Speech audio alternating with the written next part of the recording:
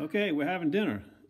Dinner starts right here, in that little soft spot that you see right there. The knife slides in there like that. You make one little twist. You come around, you cut the two top muscles at the shell, you have nothing. You make a cut at the bottom, a cut at the bottom, and the clam is ready to go into the bowl. We're having clams linguine. Low-Tide Tim and his wife are coming over. And that's what we're going to have, clams. Now, occasionally, I have to eat one, like this. But it all starts in that one little spot. You make a twist like that, you come around to the top, you cut that part shell loose, you come in there, you cut the bottom, you cut the bottom, and you put it, oops, and you put it in the bowl. All one motion.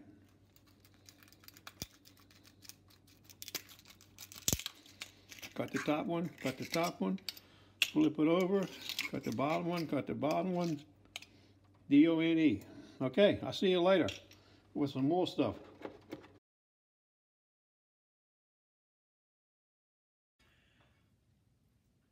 Well, that's what we shucked out. We had two bowls of juice that was strained off from the clams. She's going to use that in the uh, recipe. Let's see what else I can find here. Parsley, olive oil. We'll get to that in a little bit.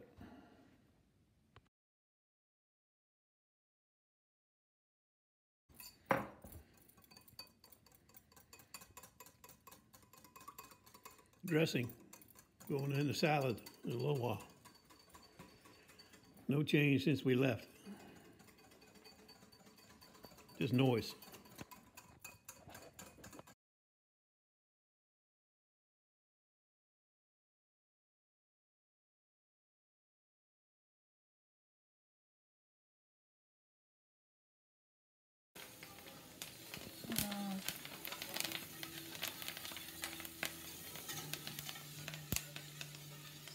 Garlic, thyme, bay leaf, and She lemon wants it al zest, dente. nine, nine minutes. Okay, and now I need, uh, Pepper. Here's your pepper. two teaspoons of black pepper. Not that one, no. Country wort or No, something, just, you don't want too, too hot. Do you wanna, do- Go ahead.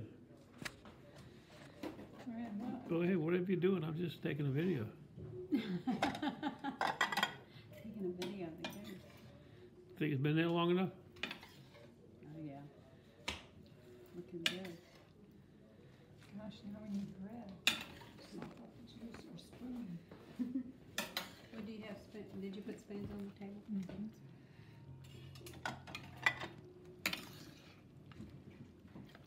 That's a big for two. That's gotta go on your plate.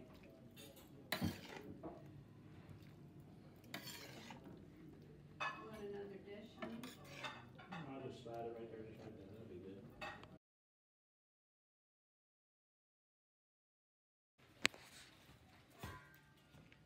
How many delicious. I think, I think this is the kind that's better the next day after it's Set, sat. And marinated. better if you can let it cook for five or six minutes after all the stuff is in it. Well, it's a nasty, rainy day in Virginia. It's kind of warm, but plenty nasty. But it's going to be a nice knife day. Picked these up about 25 minutes ago from a lady. A gathering of knives. And a hedge, uh, a loper, and a two, uh, two, two lopers.